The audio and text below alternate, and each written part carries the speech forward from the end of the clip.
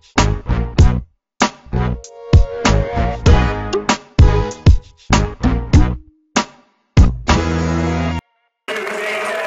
are back here in Haslett, Michigan for the second part in our doubleheader of Haslett versus Mason. We are just about to get underway as we introduce the teams. And um, some keys to the game for the Vikings are to play good defense. You want to hold them within 15 points per quarter and want to be fast on transition. The last time these two teams played was at Mason, December 18th. Haslett won that game by 39 points. It was an 89 to 50 game. Dodick Roadblock, who was injured tonight, had 24 points. Sleeper number four had 14. Uh, for Mason side, the leaders were Showers and Hamilton. They had 14 and 11 respectively. Three-point game, the fourth quarter about to get underway.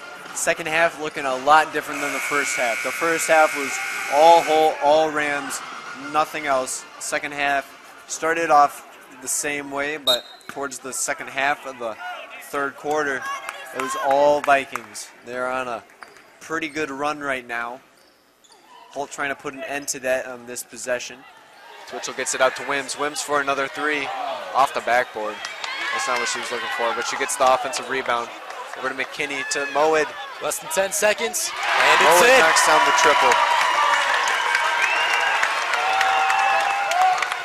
Haslett comes out willing to play like they usually do in the third quarter, scoring over 20 points every third quarter. They should be able to win this one. What do you think? We are back here in Haslett, second half about to get underway. Haslett down by two, 34 to 36. A Couple of technicals here already in the game for Haslett.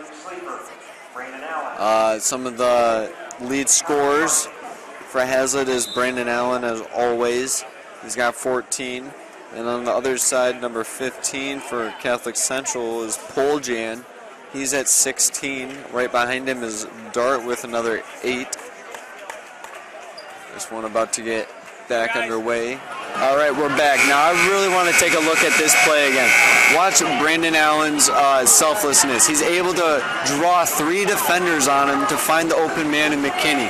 He gets that assist there because he knows that everybody's going to be crowding him. He has 29 points tonight, so that's going to open up more players on the offensive side for Haslett.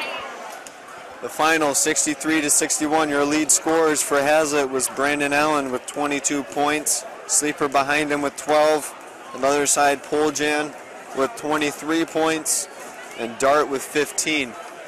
I'm Conor Clifford, and for all of us at Haslett Media Productions, good night and farewell.